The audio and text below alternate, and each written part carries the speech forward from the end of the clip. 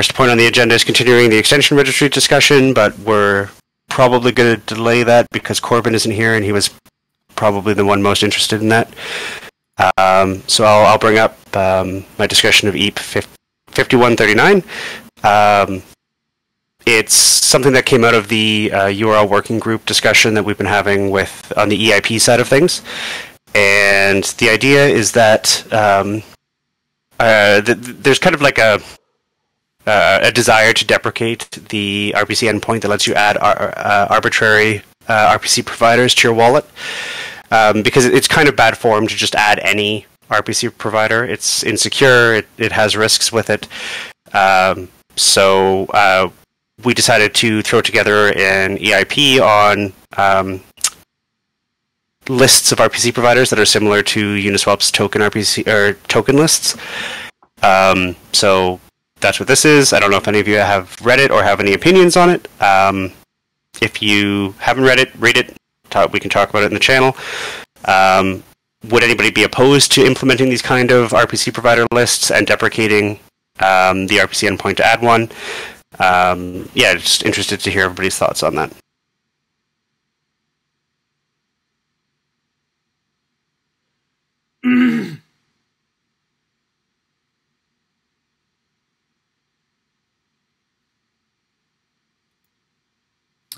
Interesting. Okay. So, um, just for a bit of context, I was there when we talked about initially writing this. Um, I haven't seen it since. So, could you run me through like what the um, final user experience kind of looks like with this? Sure. So it would be a um, modification to the wallet UI. Uh, so in the settings somewhere, you would have a, um, a field where you can add a URL to a list. It might be on ENS, it might be on HTTP, and um, that list is. So, uh, are you familiar with AdBlock or or uBlock Origin or any of those kind of extensions? Yep. So it work pretty much exactly like that. You subscribe to a filter list, or you like in AdBlock and in in wallets, you subscribe to an RPC provider list. And the idea is that you'd have some kind of curator. Uh, probably initially, the wallet itself. Uh, like would be the default, and that curator would keep a list of supported RPC endpoints, and so that would let you switch between networks like you know Ropsten and Goerli and um, things like Polygon, and that's kind of the idea behind this. So instead of letting people add random RPC endpoints, they choose the list that has the RPC endpoints they want.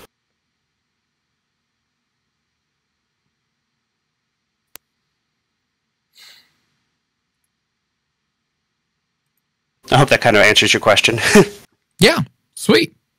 Um, I see a fair bit of other things, and I see versioning and everything, and I'm really interested. Like, is there some some some magic happening here?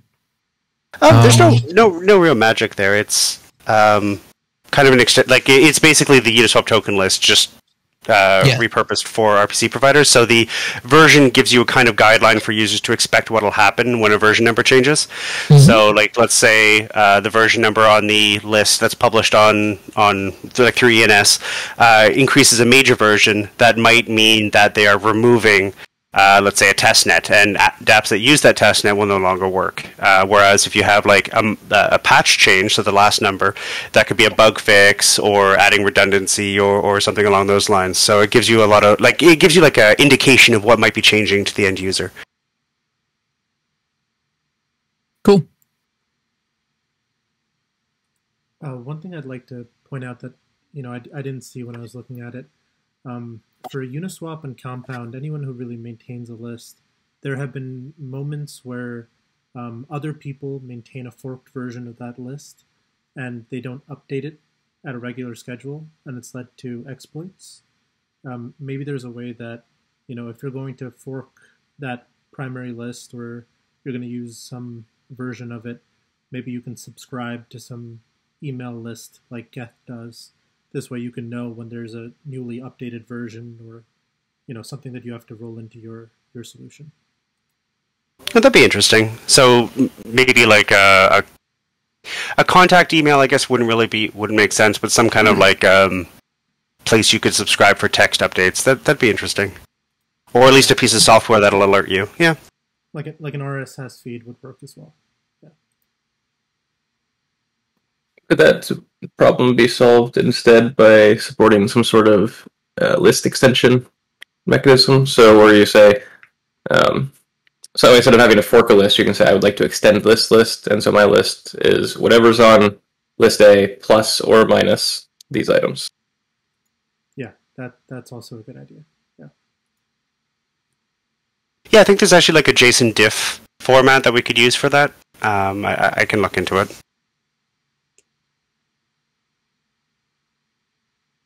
I like where this is heading. Um, I, if I'm not mistaken, you can have custom like profile pictures for lists, correct?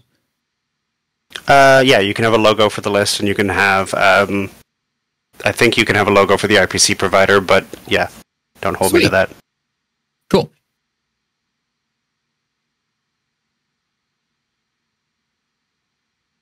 So Sam in chat raised a good point here, which is um, it- makes it very difficult for users to add custom RPC providers um, because you have to fork a list and then edit some JSON and put it in.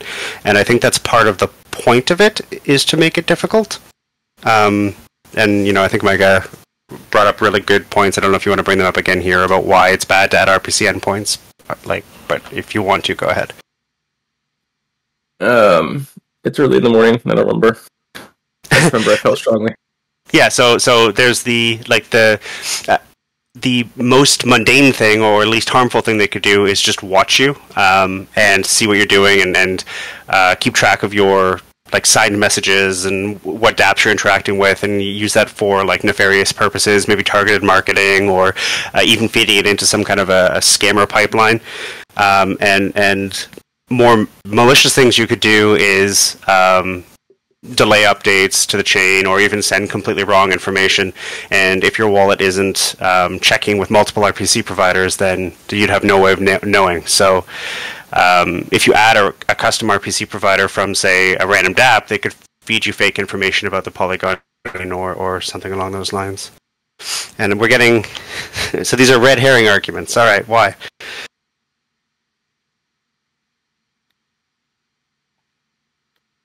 What you described ring, rings bell. Uh, the, the core issue here is that RPC, the RPC endpoint you connect to, is your view and your communication channel into that blockchain. And if someone adds a malicious one, they can, you know, do bad things with that privileged position. And so the idea is, is generally speaking, users should be relatively careful about what RPC endpoints they add and they should be getting them from a trusted source. You should not be adding RPC endpoints that some guy wrote on a bathroom wall, for example. Would this not potentially reduce the possibility that new RPC providers, you know, become popular? Um, and it feels like it would tend to uh, I'm not sure what the exact word is, but just like Cent- centralize. yeah, centralize and solidify the position of say Infura. Uh, one of the things I've been hoping to see is uh, more diversity in in RPC endpoints uh, that users are using for, you know, say when they're not specifically using adapt that chooses zone, and if you're just just doing simple sends or whatever the default is, um, like want more people to say use Omnia or Pocket. So to be clear, I, I do think users should be able to add RPC endpoints. What I am very um, apprehensive about is dApps adding endpoints on behalf of users. So like what I don't want to see is a button on a dApp that's like just on a website somewhere that says click here to add our add Polygon RPC endpoint to MetaMask or whatever. Like that's the thing that's dangerous. Is having a user have the ability to add, like for a simple example, I have my own um, Ethereum client that I run, and in everywhere I can, I use it. I do not use Infura. I do not use QuickNode. I use my own, and I definitely think. I mean, that's that is the ideal way to use Ethereum, right? That is the most censorship-resistant way, and we definitely want to support that. What we want to be careful of is making it so DApps themselves can suggest RPC endpoints because that is a vector for scams and attacks.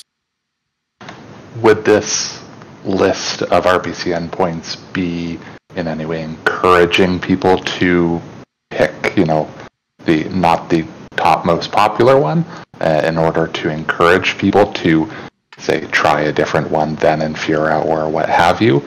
Um, because otherwise, like, I'm not sure how users will learn that they can change their RPC provider if they can't see it in the DApp. Um, I think something that like might partially satisfy that is that um, if this list gets refetched every once in a while, then if like wherever it's getting refetched from is dynamic, they could do something like order them by speed or order them by like availability or response time or something like that, right? So the place where the RPC provider list is hosted doesn't just have to be plain static, this is the list.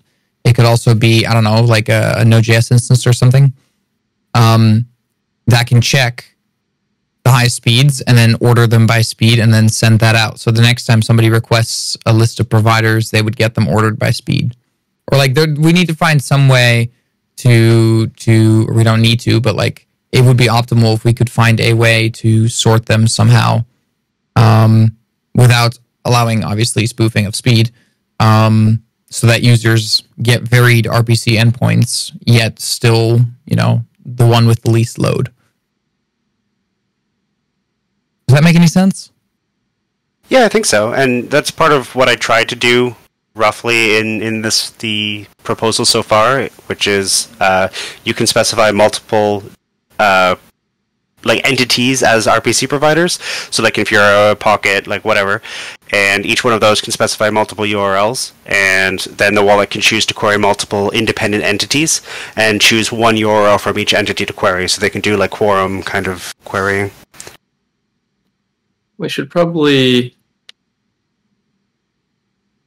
I feel like there there might be value in um, having some sort of priority system. So like I can imagine if I had a list of my own, and in my personal list, I include my personal Ethereum node, which I implicitly trust. I may have a backup of Infura and QuickNode and Alchemy or whatever, and um, I would want to always use my node no matter what. But if it's down, then fall back to a quorum between the other three. So I would have priority one set for my node, and then priority two set for the other, you know, three or four um, and endpoints, and then you know the wallet could then choose how to use that information, but it would allow me to convey to the, to the wallet, hey, this one is better. Please use this if it's available, and use these if it's not. So I don't think the list format right now. So I mean, the list format right now does not support ordering it by priority, but it does give the enough information to order it by a priority. Where? So, so like it's grouped into different RPC providers. So you could say like Infura is priority four, but you'd set that in the wallet UI uh, as opposed to in the list itself. I mean, you you could set it in the list, but uh, obviously I'd have to change the spec for that. Right. So I, I it feels like so they hope what I'm what I'm imagining is that if someone adds an RPC list, they they don't have to then go and fiddle with things in in the wallet. And so the RPC list is presumably from a semi-trusted source, at least, that can make these sorts of decisions. And I don't want the user to have to then go and add the list and then say, okay, well, now I need to supply the supplemental information that is not included in the list, such as priorities. All right. So, would you be satisfied with something like an integer for each provider if the integers are the same for multiple providers, try all of them and get a majority vote. And uh, I think if what I think it's I think it's a little more prescriptive than I would like. Just having a pri- an integer priority, uh, I think, is enough, and then it's up to the wallet to decide what to do with that. So some okay. wallets may just uh, randomly choose one. Some may do a quorum. Some may do, uh, if anyone disagrees, then warn, like depending on your security level. Okay, cool something else that could be possible is to create like a, a field within the wallet that's like uh, prioritization, and it, you could prioritize based on speed. Just take the list, whatever's fastest, I'll use that because the list works. Um, in Micah's case, you could do custom. You want to prioritize your node first, followed by anything in this list, ranked by speed. but it gives you the option of, you know, selecting your ranking mechanism.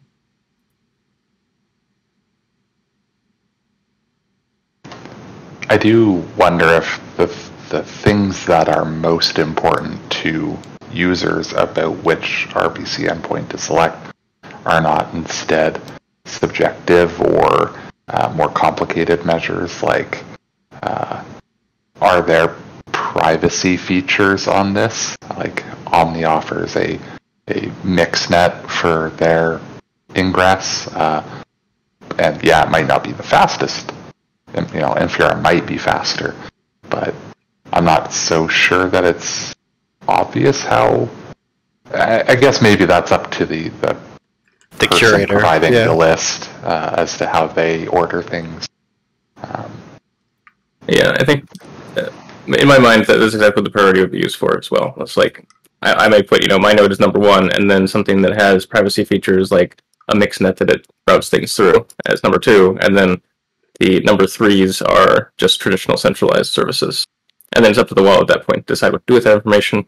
But at least the user doesn't need to understand that. Uh, the list provider is the one that needs to understand all those details. doesn't this then just push the issue back one level, and then users need to know who is a a reputable or trustworthy provider? Yes, the the hope here though is that they only need. So if you imagine a future world where there's hundreds of L2s, you need one reputable list provider rather than a hundred reputable RPC endpoint providers. And so for a user, this becomes a much simpler problem of, or even a wallet. It's like it may be that the wallet will just come with a default list, and now the wallets don't need to manually curate a hundred RPC endpoints. They can manually curate one list and then delegate that responsibility to some third party that is known to be good at creating these lists.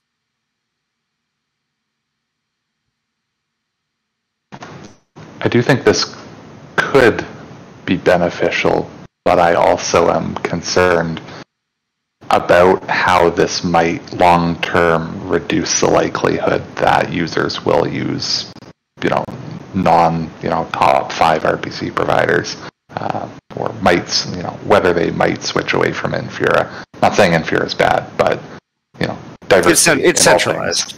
Yeah, so I think I'm kind of hoping that with this, we'll end up with uh, a few well-known lists that are uh, more permissive than the default wallet ones. Um, so, like for example, somebody might just grab all of the wallet lists, merge them together, and then you have one that just has all the RPC endpoints for all the wallets. Or you might have uh, somebody who goes out and finds like the Polygon, the Arbitrum, the Optimism, and they they just list all of the official RPC providers for all of the uh, networks and adds those to a list. So, and then as that list curator finds more L2s, they'll add them, and then users get it for free, which I think is better than what we have right now. But I do weakly agree with Rosenfire's or just Justin's general concern that of stickiness. Um, I don't think the lists necessarily solve the stickiness problem, but I don't think they strictly make it worse either. Um, like the the only, only alternative that I think would remove stickiness is requiring. It's kind of like what we have now, where we require users to manually insert every one. But I think that is unsustainable uh, from a UX perspective, and we need something. And I think token lists is the currently best option for that I've heard at least that makes it so users don't have to manually add every single RPC endpoint. Um, yet it's still somewhat flexible and allows users to make some amount of their own choice. I'm certainly open to ideas that would remove that stickiness somehow, but at the same time don't result in just a, a, painful UX for users where they have to add every single RPC research and add every single RPC provider manually. I don't think the lists are categorically, you know, worse in, in terms of, you know, the, the stickiness problem either, because, you know, much like a like an ETF in the stock market, you can have like, you know, the, the S&P 500, which everyone's going to use. It's like the basic, you know, authorized endpoints. Then you can have your Russell 2000, which is a whole bunch of other diverse endpoints that someone has checked and curated into a list. and you can trust that provider to tell you, hey, this is a larger list, but it's meant to increase diversity. And people would definitely pick that up because, you know, some people don't even know how to get those endpoints or to find them themselves. I do think that the idea of the of having these lists is a good idea for sure. No argument there. Uh, I would wonder if we can decouple the idea of of kind of like restricting uh, DApps or anything from suggesting changes from that idea. Um, because it's not itself a bad idea. I'm just not so sure that it makes sense to couple those two things together.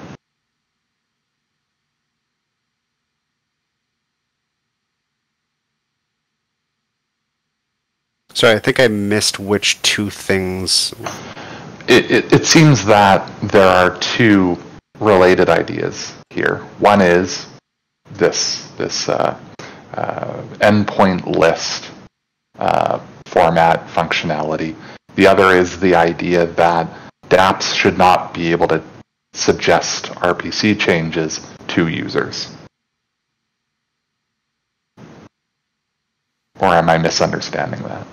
No, I think that makes sense, and I think you know if if DApps can't suggest oh, uh, RPC endpoints to users, I think there needs to be a, an additional way to get them to users somehow, and you know I think lists is a pretty good way of doing it.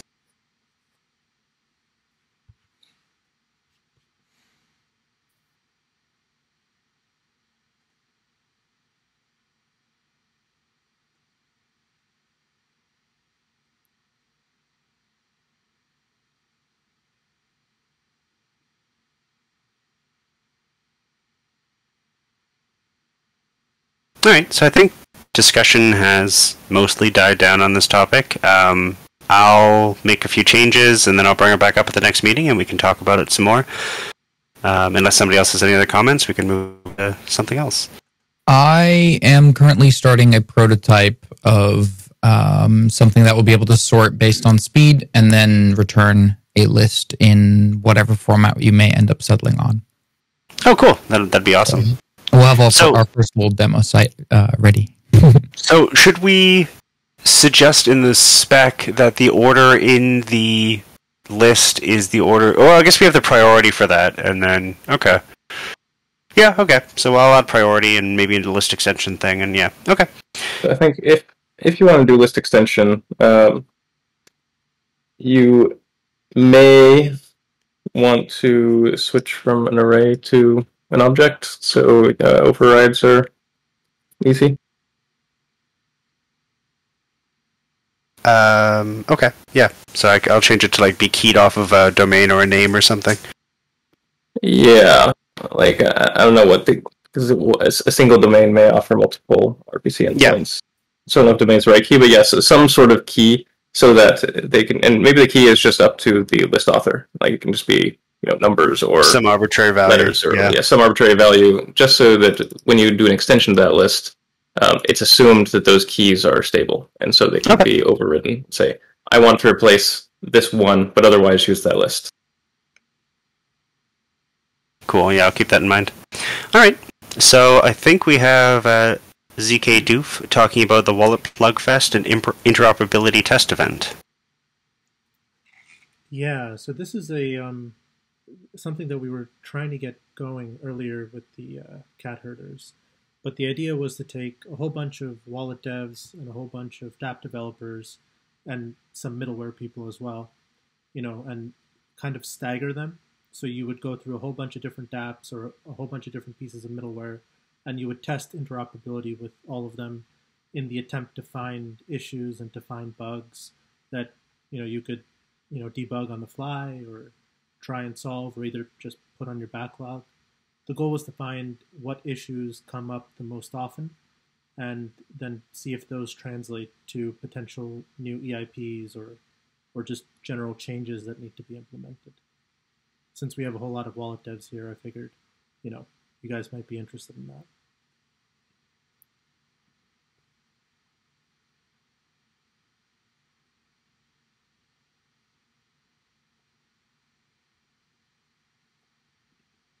Maybe I was wrong. I was to say, uh, Jake from BLS Wallet here. Um, we definitely be interested in doing that. We haven't gone through the process, but we have some uh, like backlog issues to try out our prototype extension with a bunch of different like D apps. So doing that in a more um, structured environment would probably be pretty good for us. Great. Yeah, that that'd be great. Um, i would pretty much just be looking for anyone who is interested at the moment, and then seeing if we can extend this current group and reach out to some dApp developers, see who wants to try and break a wallet, you know, see where, where the flaws are. And the flaws could be on the dApp side as well in terms of their implementation. So I, I think it is a pretty win-win situation for everyone involved. And if it's done at some, you know, regular interval, maybe once a quarter, people can at least see, you know, the, the updates and make sure that their dApps and their wallets are, are working better. Yeah, I think I would definitely be interested in this too. This is Alex from Tally Wallet, and it's something that we try to do quarterly with our community, but it never ends up happening. So I think a good idea to just like do it ourselves and, like you said, with uh, dApp authors and whatnot. Great. Yeah, I'll, I'll put something into the chat later, just saying, hey, who's interested, and see if I can start getting a list together.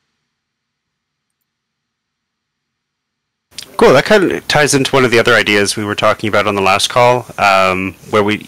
Do you guys remember uh, the the web acid tests, the website you could go on that would just test your browser? Yeah, yeah, that's yes. a really good idea. Yeah.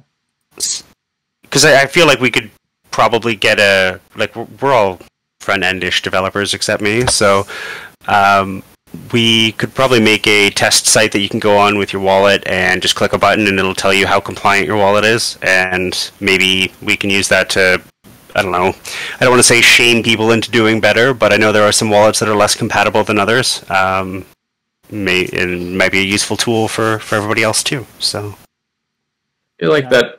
that. Sorry. I feel like that sort of thing is more useful if you actually have a specification to uh, target. We we do sort of right. We have the ETH API spec.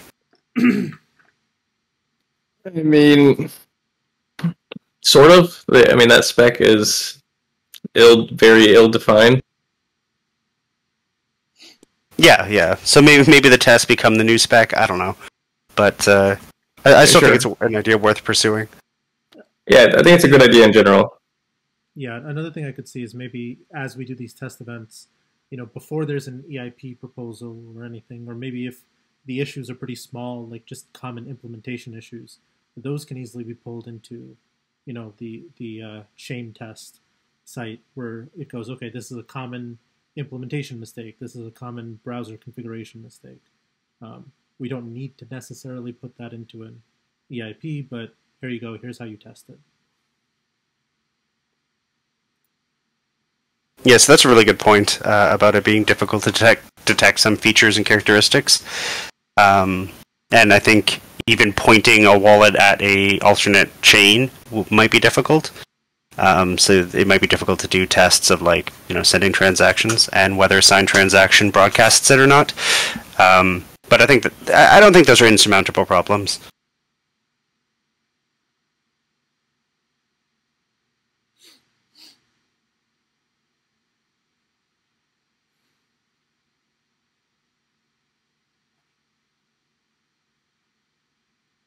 All right, so um, I guess we'll try to get that scheduled at some point, get some app developers on. Um, in the meantime, I think uh, we have someone from Ethereum.org here to talk about uh, the progress on updating their page. Yeah, hey. Do you guys mind if I share my screen really quick? Is that okay? Yeah, please do. All right, one sec here. Um, can you see my screen okay? I can, yeah. Yep. Cool. Um, so yeah, just wanted to, I guess, mention we're working on updating our find wallet page on Ethereum.org. So currently, this is kind of what, or this is what the page looks like today.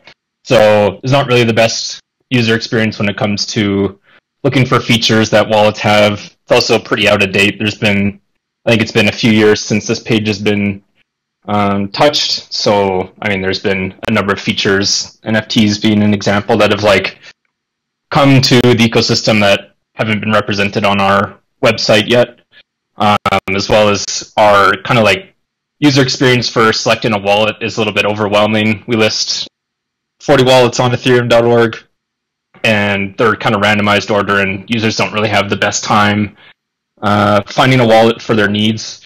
So we've been working on an updated version here of the page. Um, and so this is just kind of dummy data. So if when your wallet is on here and these features aren't right, just it's just dummy data right now. So um, basically, what we were looking to do with this page is come up with um, some user personas that will fit kind of users in the Ethereum ecosystem, as well as a more in-depth feature uh, filter. So people who have specific needs or features that they're looking for um, can find a wallet that supports it. They can toggle them and then find the wallets that that support these features. Um, just making it a little bit easier for uh, users to come find a wallet. And then as well, we tried to add some better compare features. So in the top here, we're looking to make it so that users can, you know, select a couple uh, features that are important to them, and then um, be able to compare just in kind of a list, uh, finding wallets that support the features that they're looking for, and being able to find like the best wallet for their use case.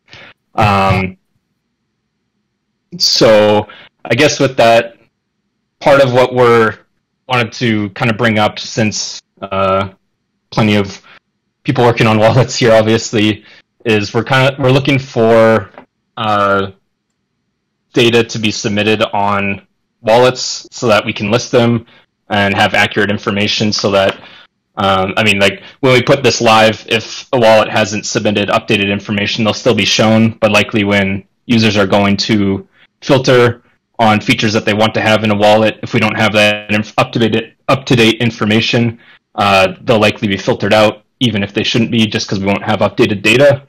So we created a new wallet listing template. Um, I can share it in general if that's fine with you guys, but um, basically just looking to get anyone uh, working on a wallet to submit updated information for their wallets so we can accurately show uh, your wallet projects on ethereum.org. Um, mainly the rundown. If there's any feedback as well on our like the direction we're going, um, this is currently the open pull request for this feature or this page, I guess rather. Um, so any feedback would also be really appreciated on what we're doing here. I have two totally unrelated questions. Um, one, what is your guys' curation process? Like, imagine I'm a scammer and I create a wallet and then submit it. How do you avoid listing my wallet? Um, yeah, so right now, so in order to be shown on Ethereum.org, you have to first fill out this issue template, and then the team. Uh, there's about ten of us, so a few of us will talk about a wallet being listed and if it's kind of like met the criteria that we've set out here um, in, in terms of like fulfilling that. So if a wallet, let's say, is just like a scam fork, uh, we should be able to look and like, oh, is, does it have an active development team? Um, when did the project go live? Like there should be some things that we notice when someone submits a wallet that should hopefully stand out. Um, but we'll also try and talk to um, people in the community as well to make sure that we're not, you know, listing a scam wallet or anything like that. But I think so far this has been enough for us to just be able to get like a gut check on if this wallet or a wallet that's applying to be listed uh, is a scam or not for the most part. And the other question, uh, do you happen to have analytic data for the current website on what features users are searching for when they're looking for wallets? Um, not at the moment, but we are adding some. So we use Matomo on Ethereum.org to uh, gather this stuff. So we're going to be adding Matomo events onto, um, you know, when users are clicking these different features. So we should be able to get an idea of what users are selecting when it comes to features. Uh, the idea would be like we could track down the Matomo events that someone clicked before selecting a wallet, um, and we should be able to get an idea. And the idea behind some of that as well is we should be able to use that to come back to our user profiles and like reassess as time goes on so we can hopefully build out better user profiles as well Yeah, the, the one thing I'm very curious about is the there's a wallet one wallet feature that is a feature for the wallet author, and I'm not it's not clear to me that it is actually a feature users want. Kind of like adver- advertising, right? Like you know, Google puts ads, but that is not something that the users want in their search. Is what Google wants in their search, and that is buying crypto and swapping crypto within a wallet. Um, I've always been curious if that is added to wallets because users actually want those features in their wallet, or because it's what makes wallets money. And so I'd be curious if users are actually looking for that, or if that's just something that you know wallets have as a revenue generating scheme. yeah that's i don't necessarily have the answer to that but i could definitely once we start collecting some of that data i can share it with you if you'd be interested Yeah, I'm, I'm very interested, and that one in particular. Again, it's, it's essentially swap features and buy and sell features are the equivalent of ads for the revenue model for wallets. As somebody who's used the swap feature when I'm feeling really lazy, I I think they're slightly more useful to users than ads. But yeah, I think I agree with your sentiment. Yeah.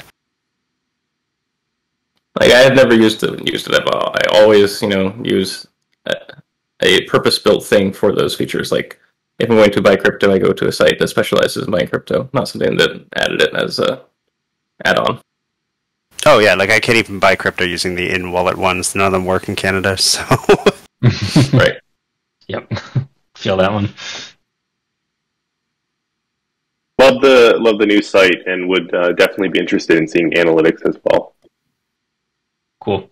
Um, yeah, so we have a designer on our team who's uh, kind of in charge of, I guess, curating our analytics when it comes to this. So I'll pass a message on to him that you guys would be interested in seeing this, so he can share it as well.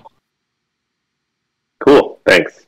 if you uh, if you know offhand, like how many people use the Ethereum site to find a wallet?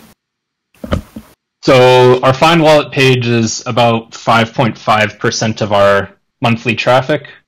Um, and we get, I believe the last time I checked, we get roughly between 1 and 2 million views a month. Um, I mean, depending on the state of the market. So obviously probably this month it'll be quite low, but, or lower. But, uh, yeah, roughly 5 to 6% of our traffic is on this page. So not insignificant. That's that's cool. I think a lot of people are going to be interested in that that data. yeah, it's a pretty big. Uh, both the wallet page in general, where you can like learn about wallets, and then the find wallet page. The combined, they account for about eleven percent of our page views. So wallets are definitely like a big, uh, a big part of our traffic on Ethereum.org. All right. I, I like what it looks like. Um, however, when looking at the uh, sort properties, right, there's a pretty nice list. I was wondering if there is, or if you have thought about adding uh, whether or not a wallet supports Wallet Connect as a feature. We, that is one of our features that we uh, have. Wallet Connect is one of them, Okay. yeah. and whether or not, uh, and specifically which ones, probably uh, of the URL specifications the wallet implements. So the specification for scanning URL to uh, invoke a transaction, for viewing a transaction, for et cetera, et cetera, et cetera. So 681, 831, 2400, et cetera. Um, don't have. I don't think we have anything for that at the moment. But Okay. could you? Sorry, what were those numbers again? It Like- is 681, 681, Okay, uh, 831, thirty-one. 2400, 2400, Okay, and 5094. 50, 90. Okay, I'll take a look at those. Um, Sweet. definitely look into yeah, make sure we have a good amount or good features for users to be able to use. So That's yeah, currently a topic that's like close to my heart because I've been messing around with URLs and URL EIPs and proposing URL EIPs and uh, contributing back to the libraries that are used by the wallets. So, voila. awesome. Working on Yeah, I have those written down to check out. Is there a list of EIPs that specifically relate to wallet functionality? And is, would it be beneficial to denote that in the wallet finder? That might be too technical for the audience of a wallet finder, but I don't know. That seems like a good way to identify features that users might want to search for. Yeah, I think. Sorry, go ahead. I was gonna say that does feel um, too technical for for users to me. Yeah, I think that was our our assumption for the most part right now is that most users are going to be pretty new to the space when they're coming and finding a wallet, and um, well, I'm sure a more advanced user would benefit from having that on the page. I don't know that that's necessarily most of the traffic we get, but it's definitely something that um, I'll write down to think about or bring up with people. Thinking about things on the roadmap, Wallet Connect V2 uh, adoption might be a bit of a bumpy ride, so maybe some way of breaking out Wallet Connect V1 versus V2 in the next few months. Yeah, we were talking about that. I think we were waiting until it was out of beta to cross that bridge. Awesome.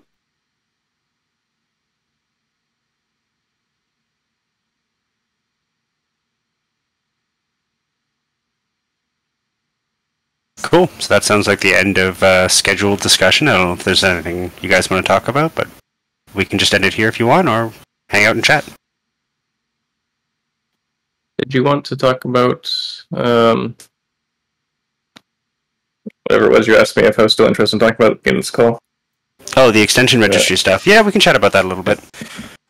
Uh, so, at the during the last meeting, we were discussing um, different ways for wallets to communicate with the pages, um, like dApps, and uh, so the, the current standard way of doing it with Window.Ethereum isn't really great, uh, and it's um, difficult for, say, like Wallet Connect or um, Web3 Modal to support new wallets because they have to add custom code for each new wallet that comes along.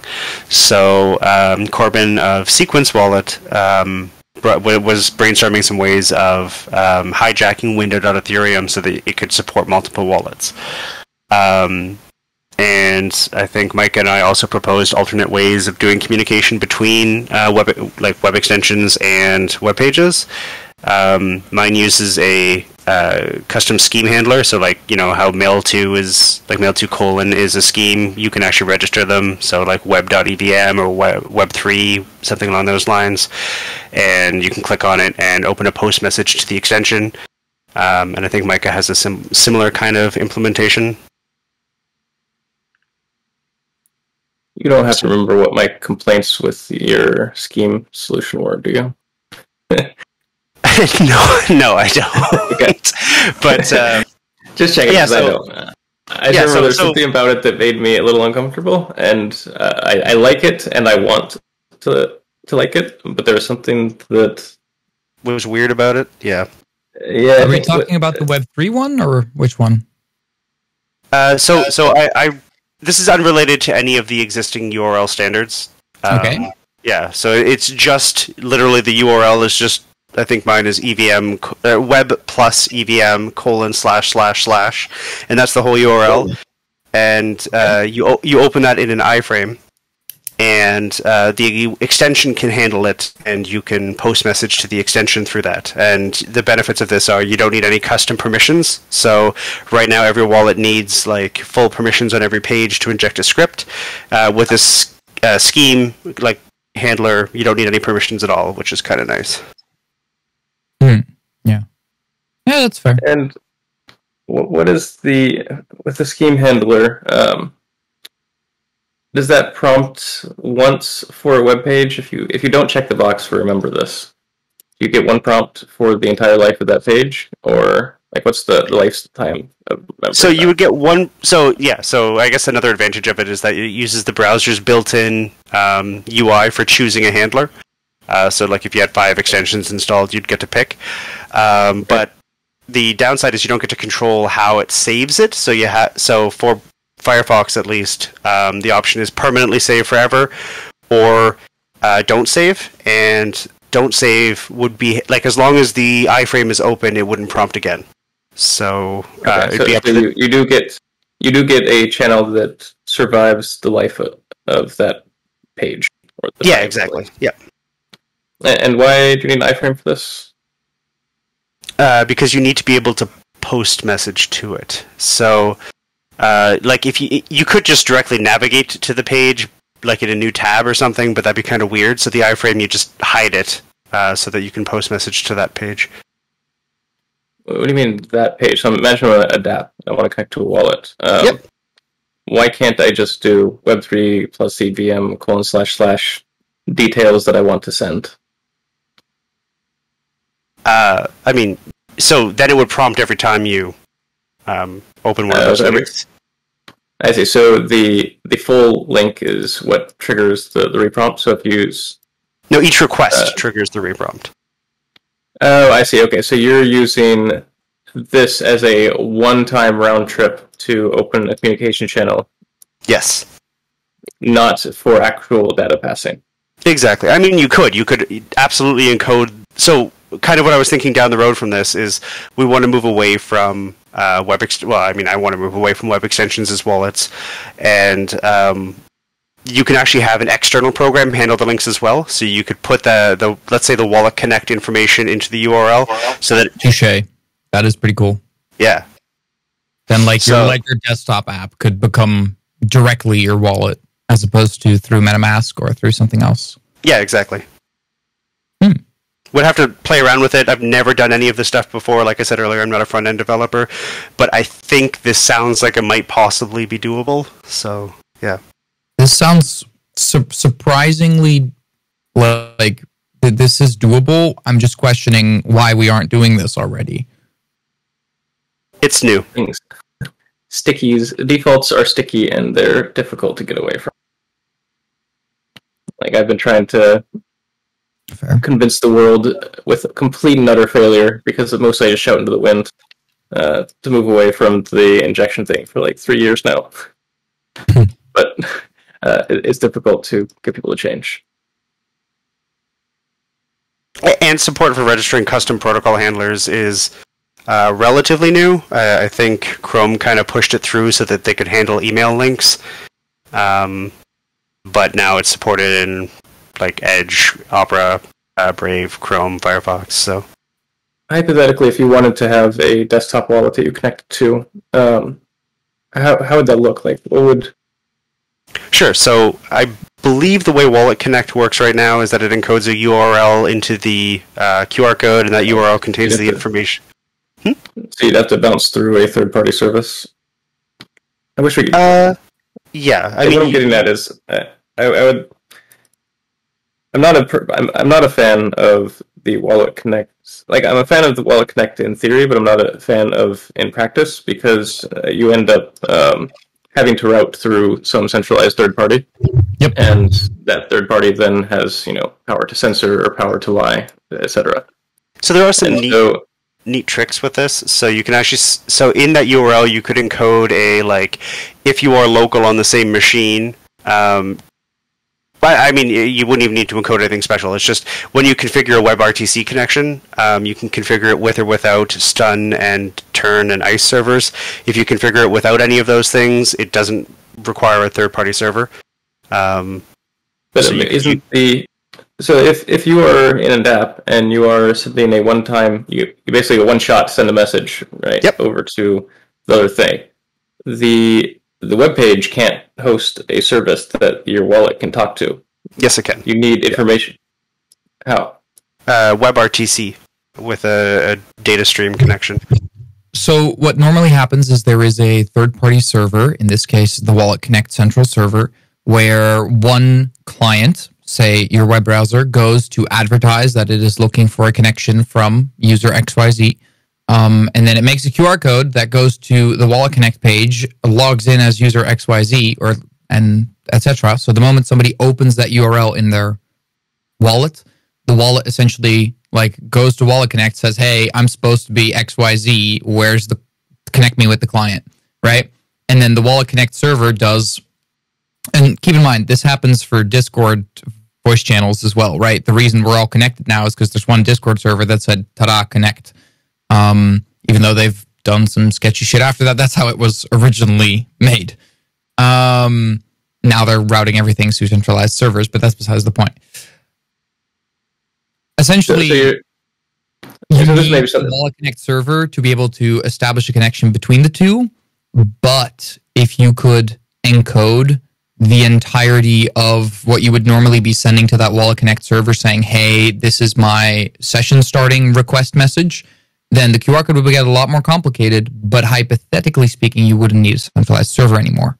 So, um, to be even more specific, um, the centralized server is required to bypass uh, NAT. Um, As well, yes. yeah, so you don't actually need it at all to do a direct connection if there's no firewall, and if you're on the same machine, there's not going to be a firewall. See, I think the piece that I'm missing, I did not realize that your server could accept, your browser could accept an incoming connection. Yeah, I know it's ridiculous, right? Yeah, I think Pretty that, that is new to me. Yeah, but it's all there. Like, Okay. Um, yeah, I'm I'm I'm very warm on the using the scheme handler thing. Like like I, I- I very much like the idea. I'm still a little concerned about like the implementation details and whether we can make this UX actually work and end to end. And I would like to see a. I know you had like a, a demo. I'm I'm worried that there's going to be some rough edges. You know, j- just beyond the prototype. Uh, I mean, it'll basically be just Wallet Connect, but then like more native, right? yeah, so you need Wallet Yeah. Connect, but also have a like a post message option. So, like, when you click the link, it would generate the Wallet Connect URL and um, register a handler for post messages, and then open the iframe, and then whatever happens after it opens the iframe, be it receiving a, a post message or receiving a WebRTC connection, it proceeds from there. This may be just me being slow and not not a front end dev full time. Um, I still don't understand why you need a iframe here.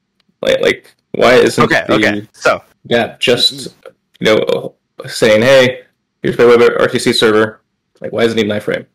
uh, I mean, yeah, I guess you don't if you just route everything over WebRTC. Isn't that what we would presumably be wanting to do? Um, I think a lot of wallets today use post message to communicate, so I just followed that. But yeah, we could just use WebRTC for everything. And with post message is the idea that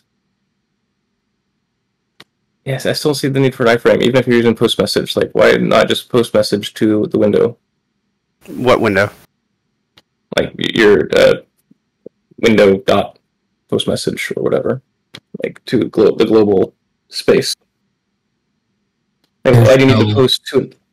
Why do you need There's to no post a global message to an iframe? Because the iframe will, when opened in quotation marks, the browser will go, "Oh shoot, this is a custom scheme," and instead of opening an actual site inside of the browser, you know, the way an iframe normally would do that, it will pop out to your extension or pop out to your wallet desktop software you have open or pop out to the native app on your phone. Right? You're saying the only way the only way to get the browser to prompt where do you want to open mail to is by having the mail to in an iframe. Like I, I know Is that's not by true, having mail so- to in an iframe, yes. It or or a Like link. if you just mean, have a mail or to a link. link. But then they have to click it. well, and, and they click Right. it, and it I replaces so the the- current. It re- replace the current page too, as opposed Yeah. to just loading it. Yeah.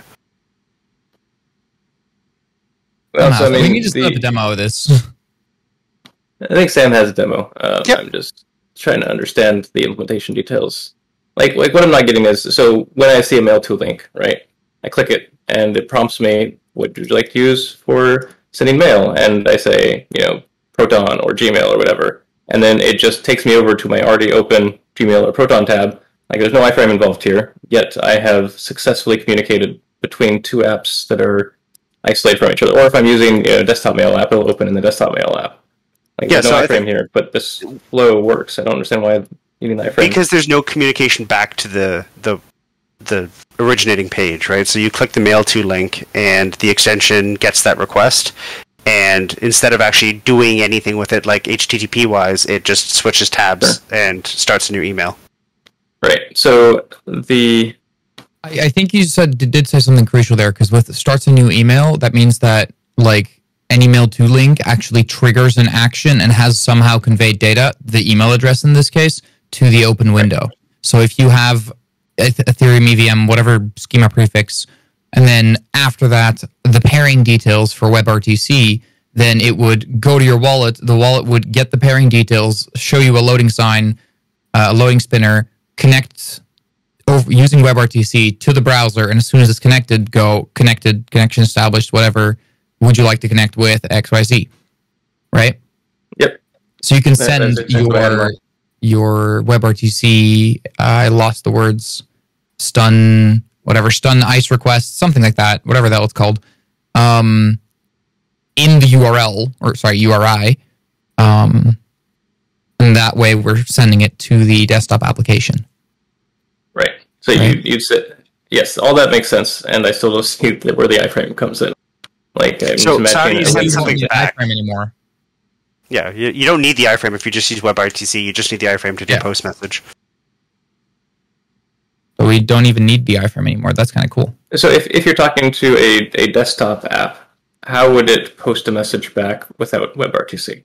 It wouldn't. So, uh, like I so- said, so- okay, so I think the thing I'm missing is I'm imagining this as being a generalized thing that works for both desktop and extensions exactly the same. I think you're describing if you want an extension specifically, then having an iframe to talk to is useful.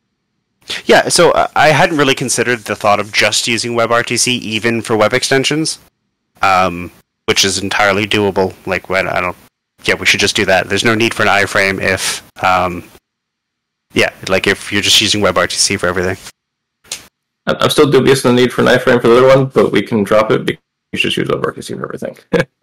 yeah, I think I think you're probably Yeah. right there. Pretty good. And then your extension will just talk to your page using WebRTC, and then the security vector has been even more restricted, right? Uh, the attack surface. Yeah. Because now they're only sending messages through WebRTC, which is a very limited system, uh, as opposed to through whatever the hell the browser's post me- window post message window.post message thing does, right? Which might be different for browsers and might be doing X or Y or Z. it is different from browsers. Oh, for sure. they uh, uh, for a simple example um, chrome encodes everything via json so you have to you're limited to json types whereas firefox encodes via their internal memory management so you can ship um, more complex javascript objects which include things like big ints as an example hmm and that's not specified anywhere uh, so yeah i, I like this um, I like I, th- I think you, I think Sam, you have at least for now convinced me. I, I think we should.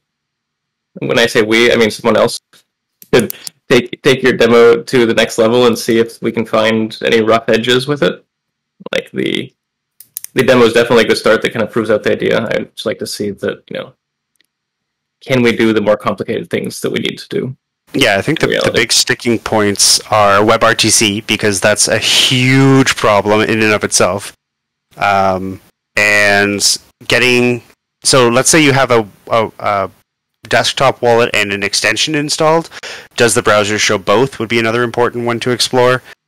Um, there, there's a few. But I'll do you one even better. We can completely wipe Wallet Connect out because if this link we have now, right, becomes a QR code, then I can scan that QR code from my phone. My phone is on the same local network and in this hypothetical situation, not uh, behind any firewalls, etc., or behind like the 20 VLANs I have.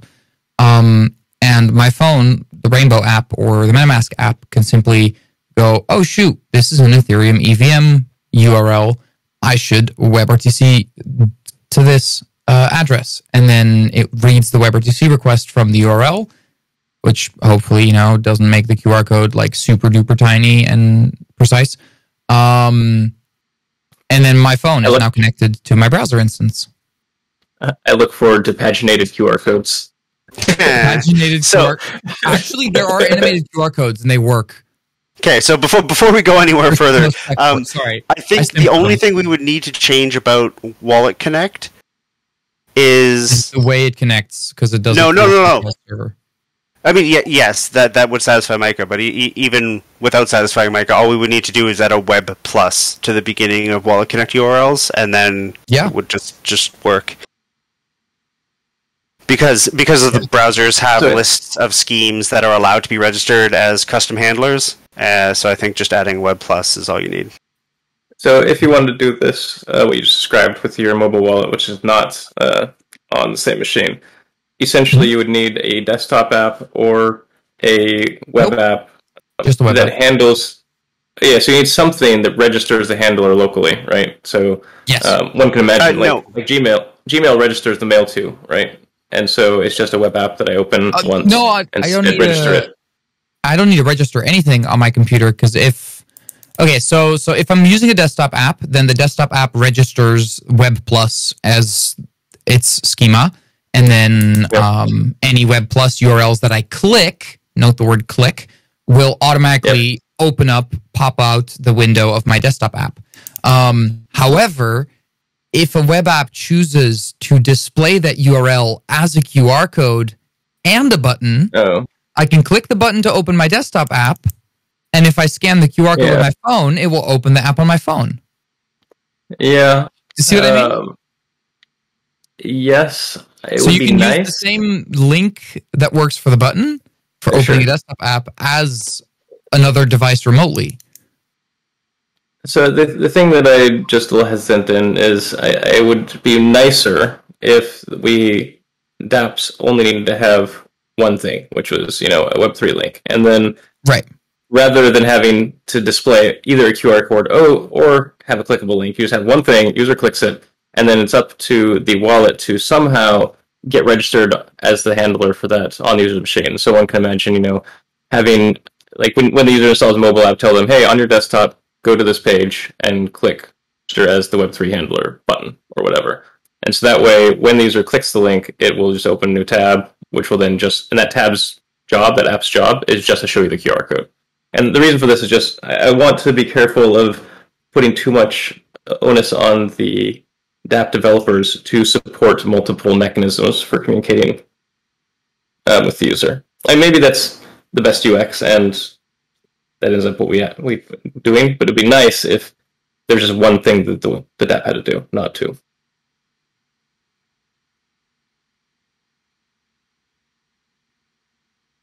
That's fair, but how would you make mobile apps work then? With the like the current Wallet Connect system, for example, lets me scan something with my phone to to log in. So I don't even have to have my private key touch the computer ever, right?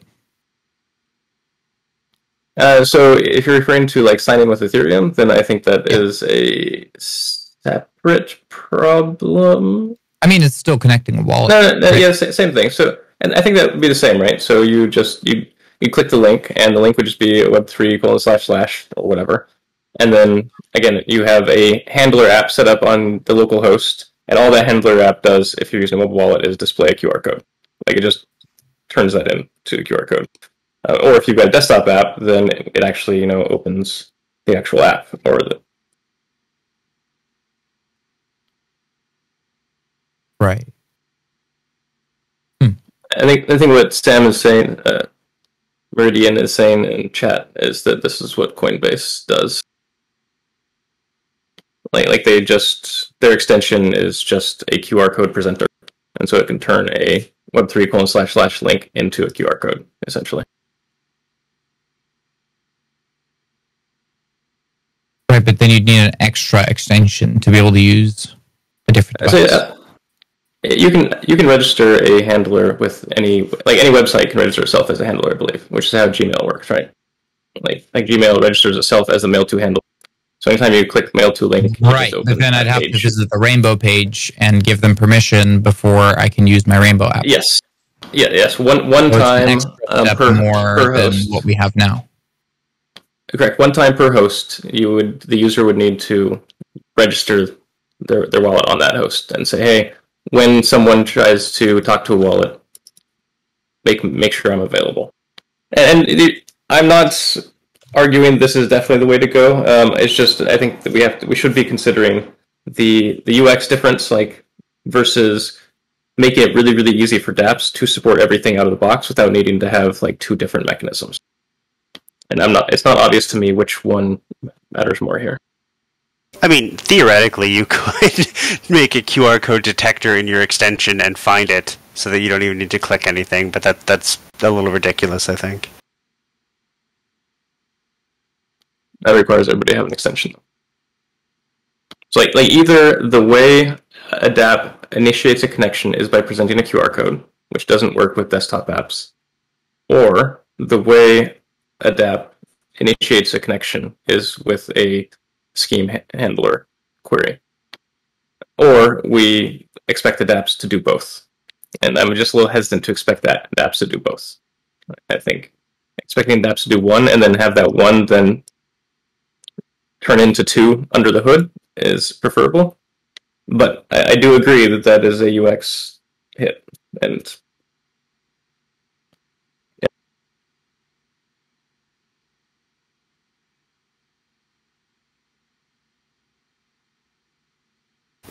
So, I don't know. I, I think just having two, like right now we have the.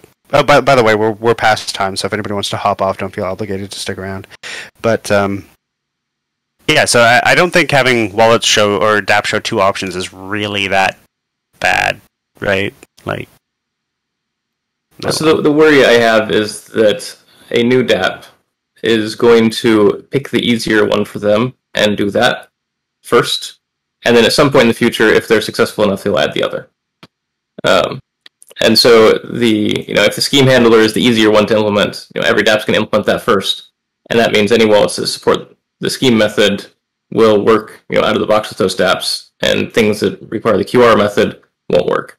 Whereas if we have a single one that the DApps have to implement, then every DApp works with every wallet out of the box, regardless of whether it you know a mobile wallet or a desktop wallet. So I think then the Coinbase method is probably the best, where if you have a uh, like a external program handler or or like a camera or a phone, then you have to click on the link and then the extension knows to display the QR code. I think that's yeah, but that that, that requires installing an extension. Uh, you don't need one. extension because remember, uh, mail to links are handled by. Oh, yeah, that's true. You, You just need to go to a web page on your computer, like in that browser, and click a button that will register the handler. Like that's that is the the UX pain is that a user who is wanting to use a mobile wallet will need to one time per browser per computer go to a web page and click a button. yeah, I mean that that's reasonable. I guess. Yeah, I, I, I recognize that is it is a non-zero step for users and maybe not worth it. I'm just I'm, I'm really worried about like we, we already see this right where a lot of DApps will only support MetaMask initially and they don't add other wallet support until later because you know if you have to pick one thing to add you add MetaMask and for when you're building an MVP you pick one thing you don't add support for ten things right out of the out of the Have you seen Rainbow Kit already? Rainbow what? Rainbow Kit. Does it require using Webpack or or npm? Mm, it requires using npm. Yeah. Then it's a non-starter for a lot of people. So Rainbow Kit is a React library, so it requires you to use React as well. But Yeah, for so that's everybody who builds a React app.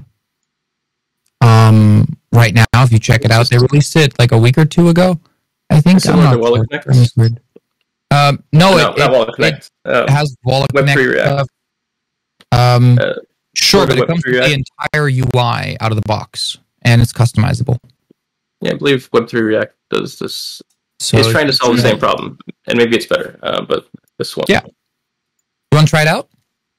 So Web3 React is what Uniswap uses, and it's a drop-in React control, if I remember correctly, that just deals with connections. I believe.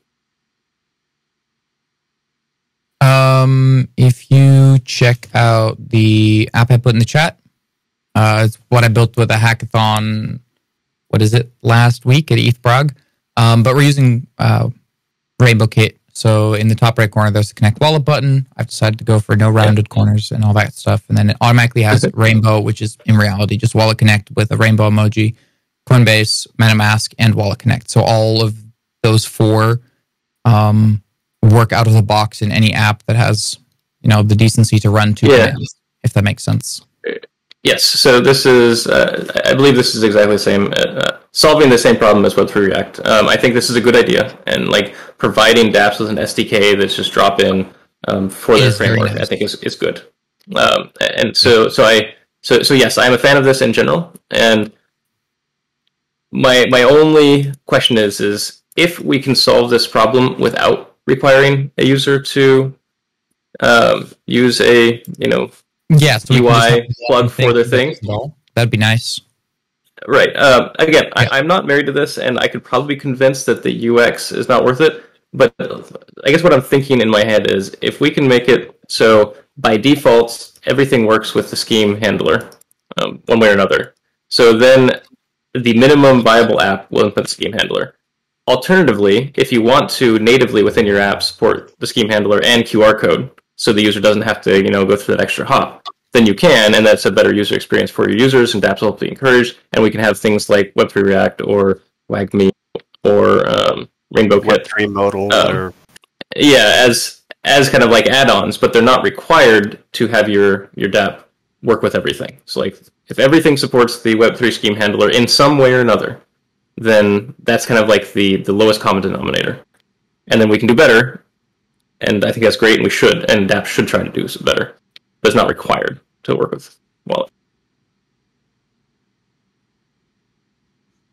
I think we're mostly on the same page here. It sounds like.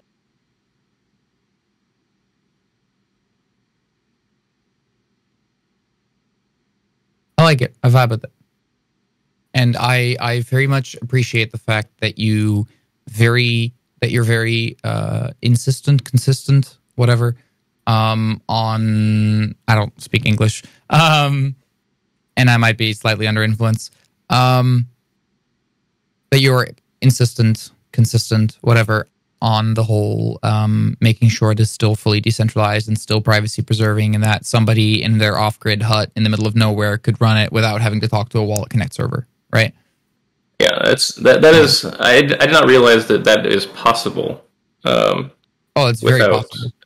yeah, so I, I'm a big fan now of Yes. of all of this. Like, like I'm gonna have to digest some of this information. Um, but yes, I am a huge fan of getting rid of those central servers. Especially, I really like the idea of if your cell phone's on the same LAN as your computer, you should not need to go to a STUN server. Yeah. um, like you should be able to just like I, I really want mobile because mobile devices tend to have far better um, Better what? UI, UX kind of thing? just like like they have TPMs built into every mobile device these days, and the uh, sandboxing of apps on your mobile device is far better than on your desktop. Yes. And so the the attack surface against stealing your private keys on from mobile are very different than stealing your private keys from a desktop. Yep. And so um, I want mobile wallets to work because I think they're a nice step between hardware wallets and desktop wallets. Uh-huh. Um, but I've just I have never gotten into them because of that need for that middleman. And so if we can get rid of that, I, that'd be amazing. Second that.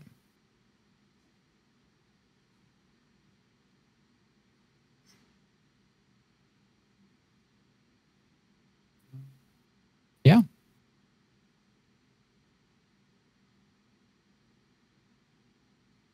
Okay, so who's going to go build all this? Who's going to go build all this? That's a good one. Um, I'm currently doing some updates on a variety of my sites. Uh, I'm waiting for RPC list.xyz, which I bought and built a site for and deployed uh, to actually properly start functioning. I'm having some stupid DNS issue, but the rest of the thing works. Um, sorry, I'm trying to triple task here, but it's not really like, you know, I'm still me.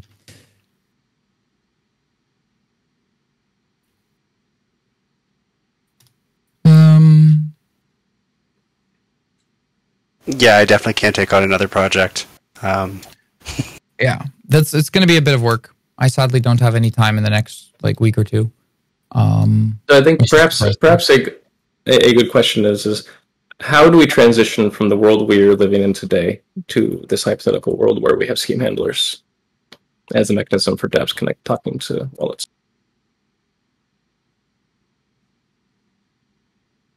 um, I mean, we first have to a- get some kind of demo working and verify that we can actually make it happen. Uh, sure, but like even if you even if you do all that, like there's the chicken and the egg problem, right? How do You you get Start to switch? every yes, yes, and uh, like or we convince every wallet to implement this and then Yes. as well as implementing the old way and then encourage dapps to use the new mechanism yep. Um, both of these are very hard um, I think you could come up with something like all new RPC endpoints are only supported on the like new connection method. So old apps aren't don't break, and new apps that want to use the fancier stuff um, would have to use the new connection method.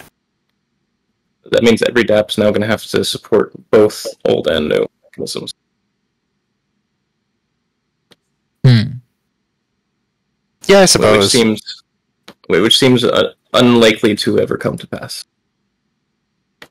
Now, can we? Is there some mechanism by which we could create a browser extension whose only job is to envelope and things into uh, this WebRTC mechanism? So it would be an extension that injects into the page, and it takes all the legacy JSON RPC stuff and converts it into so it would stuff. it would provide a some de- other thing. so it would provide a default provider that um, uses WebRTC on the back end. Yeah, that'd be that'd be doable. Yeah. So then wallets would stop supporting the old way of doing it, and then Yeah. yeah, but you'd okay. have to. So, so wallets would stop supporting the old way, but if you've got a legacy DApp, um, users can still access it by installing this, um, you know, like envelope or extension, extension. kind of thing. Yes. shim or polyfill. Yeah, Yeah. Yeah, exactly. Like polyfill is a good word. for it. Polyfill wallet. there you go, polyfill wallet. We've got a name for it already. We're basically done. We're basically done. We just got to actually make sure that we build the entirety of. I mean, the name is the naming is the hard part. Everybody The knows name this. is the hard Polyfill wallet written it down. a I'll buy the so we're done. address. No, okay. So so can we actually just take Wallet Connect, change the like I, I know nothing about their libraries or their implementation. Can we just change the URL to Web plus WC and then try it? Basically, yeah. I mean, they already do a similar thing, but then with Wallet Connect, Wallet Connect colon or whatever the hell it is. I don't know. Let's have a look. Um, edgeserver.io, log out, log in, rainbow. Yeah, so that that's what I mean, uh, Sam. Can we just take their weird URI, put Web plus in front of it, and then Yeah. try that? Yeah. So this is cool. On my iPhone, if I scan any of the Wallet Connect URLs, it automatically says camera wants to open rainbow. And then I press open and then it just does the rest of the magic. It's ridiculous how well Wallet Connect works, but it is also ridiculous that it managed to get this big while still being partially centralized. It works for me, Yeah. Sam. Being centralized is the easiest way to get big. Being Yeah. decentralized is the hard way. Yeah, it, But it is the better way. I agree with that. Okay, well, my brain is full. I'm gonna need to some time to commit all this to long-term neural pathways, Sounds good. so I can think harder on it. I my camera is still stuck on this one. I love that. I'm not here. you're a ghost. I'm I'm totally not here. Hi. Um, I am a ghost. All right, so uh, yeah, no worries. It's funny. Yeah. Well, thanks for coming out, guys. Uh, ZK, if you can send me a, a, a link when you have the recording um, up somewhere, I'll, I'll write some meeting notes and everything. So, yeah, awesome. Cool. Sounds good. We'll do. Thanks, guys. Talk to y'all in about a month. Maybe at a different time. All right. Oh, uh, are any of you coming to ETH NYC? Not I. No. Me neither. Or ETH Barcelona or ETH Paris or okay. I'm gonna be everywhere. So like, I don't leave my house. I. Yeah. Fair. All right. Talk to you guys later. All right. Take care. Bye. Have a good one, everyone.